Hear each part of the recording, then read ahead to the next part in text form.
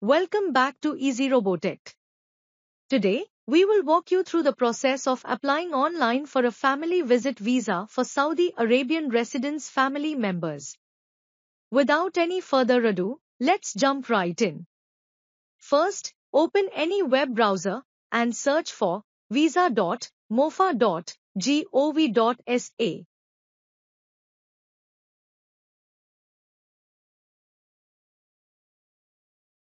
Then, click on the first link that appears to access the official website.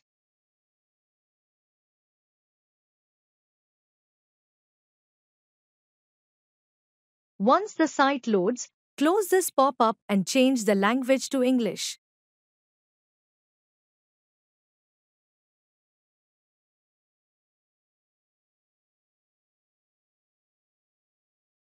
Scroll down to find the section labeled as Service for Citizens and Residents. Then click on it. Here, scroll down and choose the Residents option, and then scroll down further to select Apply for Family Visit Visa Application for Residents. By clicking this, it will redirect you to the Nafath login portal. Here, you'll need to enter your Iqama number and click on Login.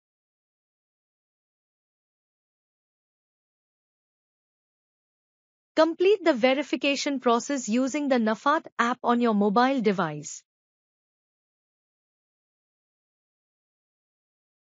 After logging in successfully, return to the same residence section and click on Apply again.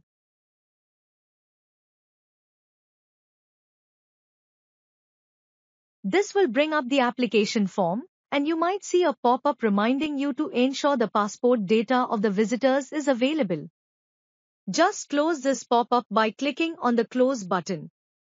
Now, you will see your personal information, such as your name, ID number, birth date, Iqama expiry date, job title, mobile number, address, and email address. You will also see your company or sponsor information including their ID number and name. At the entry visa number, enter your Iqama number, then scroll down and click on Add. Once you click on Add, a form will appear where you need to fill in the visitor's details.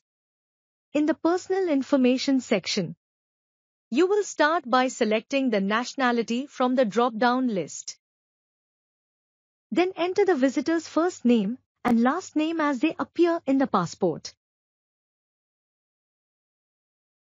Then choose their date of birth and birthplace.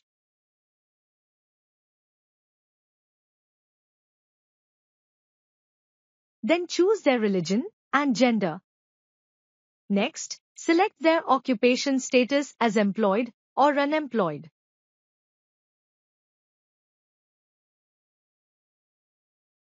Then specify the relationship type, such as wife, mother, father, or daughter.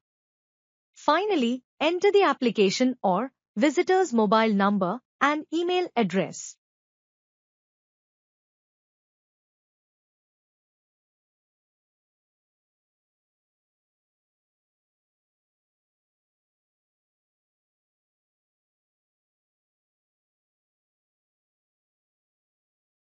Moving on to the passport information section. Enter the passport number. Then select the passport type, diplomatic, normal, and then input the passport issuing and expiry dates.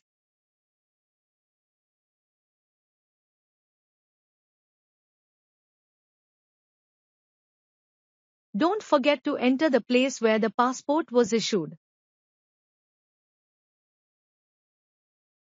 For the visa information section, select the place the visitor is coming from. For example, here I will select the capital city of my country. You might have multiple cities in your country and you have the multi-international airport. Don't worry, check the list and select the city which is available in the list.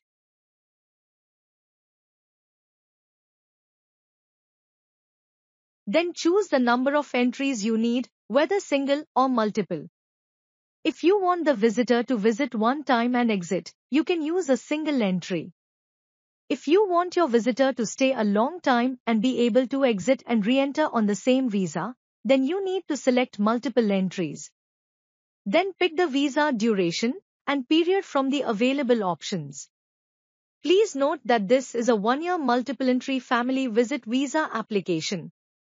Make sure to fill out applications for all visitors accordingly. Once you filled out all the details, click on Add. In this way, you can add multiple visitors applications as a single application. Let me add one more applications.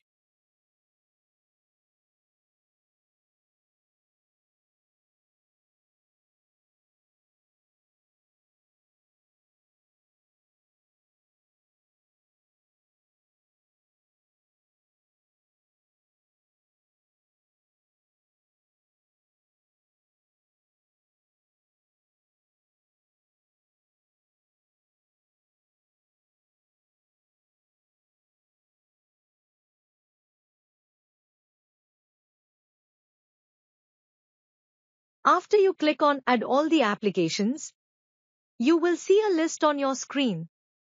If you need to make any changes, click on Edit. To remove an application, click on Delete. When everything is complete, scroll down to enter the CAPTCHA code. And check the box agreeing to the terms and conditions.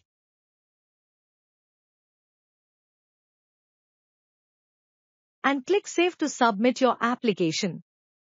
After submitting, a pop-up will appear, indicating that the application is submitted.